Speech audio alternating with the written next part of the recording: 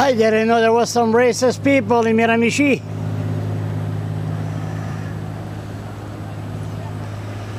There's a Confederate flag. Sorry, it's not plain. You can tell what it is. Be a bunch of rednecks on the Miramichi.